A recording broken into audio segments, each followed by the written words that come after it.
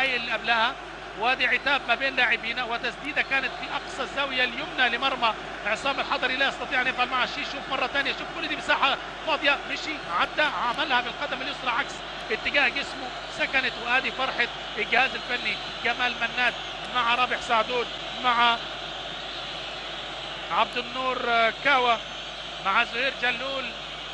بسرعة ادي الكره مرة ثانية. شوفوا حضراتكم ادي في الإعادة إفادة.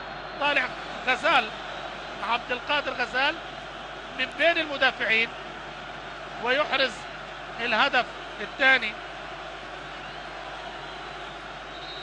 هذه الفرحة مناد مع رابح سعدون بيقول لهم اهدوا استنوا تركوا على الشاشة. هذه محاولة يزيد وملعوبة وخطيرة وما بيقولش تسلل وهو الهدف الثالث. الهدف الثالث للمنتخب الجزائري لا لا لا لا لا لا لا, لا. رفيق جبور ليس يوم المنتخب المصري. ما الذي حدث في الشو بين الشوطين؟ إيه اللي حدث مع بداية الشوط الثاني؟ رفيق جبور. مع الدقيقة 30 ثلاثية وأحضان في المدرجات. ونتيجة لم يكن أحد يتوقعها هنا في الجزائر. وانهيار في الشوط الثاني للدفاع المصري بل للفريق كله. لا نستطيع أن نلقي اللوم على لاعب بعينه. مش ممكن ما يحدث في الملعب.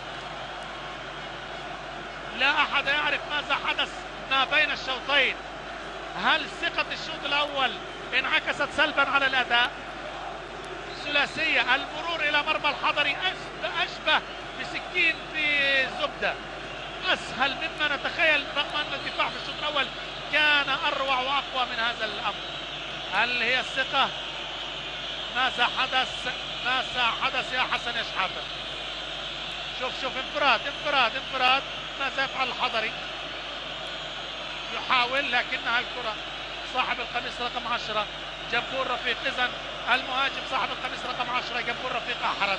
والمهاجم عبد القادر غزال صاحب القميص رقم 9 أحرز. ولاعب الوسط كريم مطمور أحرز. الأداء كنا نتوقع.